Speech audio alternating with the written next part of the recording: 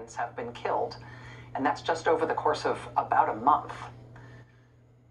For what it's worth, and when you're thinking about whether a protest like this might, you know, might wake the president up, whether it might get the president's attention a little bit to have body bags laid out in front of his hotel, for what it's worth, the president does not really seem up on the fact that 48,902 Americans have already been killed by this epidemic. We know that he's not really up on that number.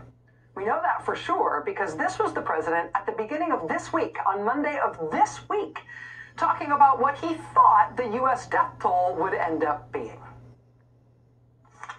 Now we're going toward 50, I'm hearing, or 60,000 people. We could end up at 50.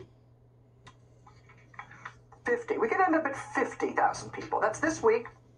President positing that the American death toll in total could be 50,000 people. He thinks that's where we'll end up. That's what he's hearing as president. That's as bad as it'll get. Maybe 60,000 people, but could be 50,000 people. That's what he wants the American people to know the death toll might ultimately get to when this is all over. He said that on Monday. Barring some sort of miracle, the U.S. death toll is going to hit 50,000 by this weekend. Easy. Don't know if the president knows that. And so the people uh, who are mad at the president about this response, um, people have started to pile up body bags in front of his hotel. Because maybe that at least might capture his attention. Maybe that will let him know that the real body count is apparently beyond his ken, beyond what he understands it to be.